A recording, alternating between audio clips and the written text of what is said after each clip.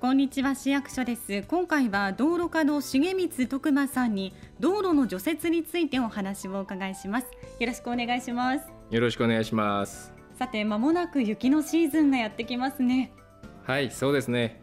いよいよ私たち道路課の出番ですありがとうございます。道路にたくさんの雪が積もった時には除雪をされているというイメージなんですが東近江市内にもたくさん雪が積もる場所ありますよね。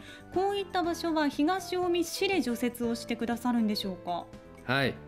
東近江市では市内の建設業者に協力をしてもらい除雪を実施しています。道路上で10センチぐらい雪が積もれば除雪を開始します。なるほど。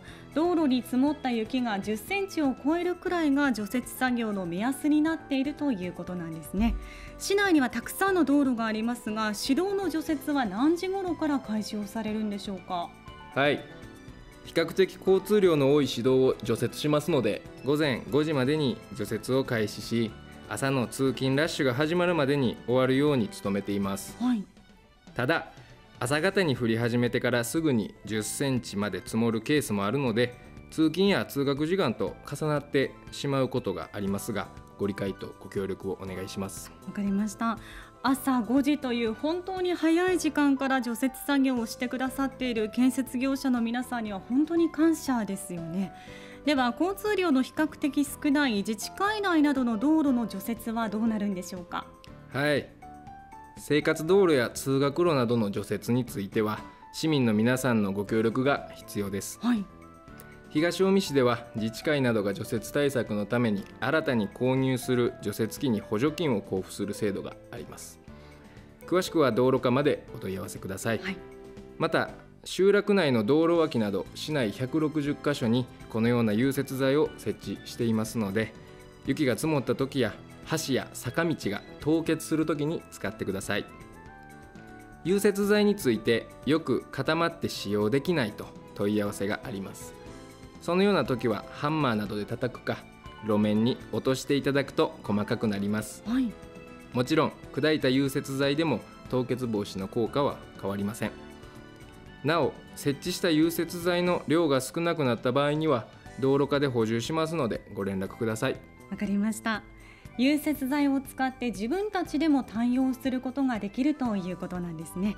では国道や県道の除雪はどうなるんでしょうか？はい。国道や県道については道路管理者である滋賀国道事務所や滋賀県東近江土木事務所で同様に除雪作業を行っています。それぞれの道路についてお互い調整しながら円滑な除雪作業を行うようにしています。わかりましたでは除雪の期間はいつからでしょうか？はい。東近江市では12月1日から翌年の3月20日までの110日間を除雪作業期間として対応しております。なるほど。とても心強いです。では最後に市民の皆さんにお伝えしたいことがあるんですよね。はい。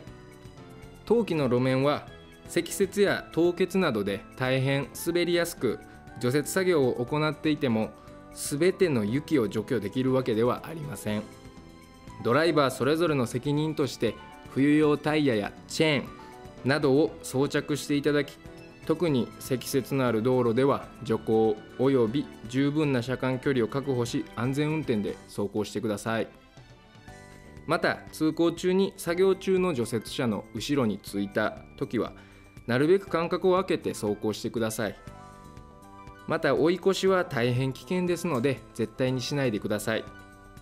なお除雪車の構造上宅地の出入り口などに雪が寄せられてしまうことがあります。寄せられた雪は各ご家庭で除雪していただきますようご協力をお願いします。